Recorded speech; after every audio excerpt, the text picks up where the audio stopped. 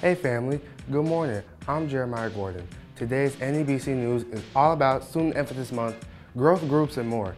Here we go. First, right after church today, please head upstairs to the youth area to meet our children and youth staff.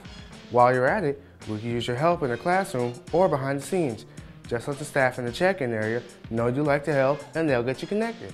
While you're upstairs, be sure to drop your kids off at the children's choir rehearsal. They'll minister next Sunday. Then on Wednesday night is all the way live.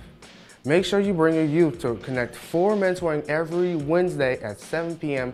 We play games, socialize, have fun with our peers, and much more. Next, don't miss your youth takeover on Sunday, September 29th. We promise you a spirit-filled worship experience, express youth style. The youth are taking over and the church will never be the same.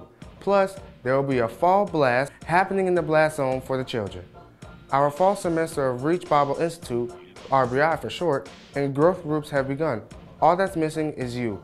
We offer groups for everyone men, women, youth, seasoned seniors, and singles. Just complete registration forms and get to class. The women will meet for sisters on the sidelines at 9 a.m. on Saturday, September 21st. Then, next Sunday, September 22nd, we'll head over to Breckinridge Park in Richardson after church for our annual church picnic. NEBC will provide the hot dogs, hamburgers, chips, and drinks. Please bring your favorite dessert and sides and get ready for fun and games. The State Fair of Texas is right around the corner, and that means we'll soon have the opportunity to pray with our fair goers. But we can't do it without you. We need you to sign up and serve at the fair on Sunday, September 29th and Sunday, October 6th. Please sign up in the realm today.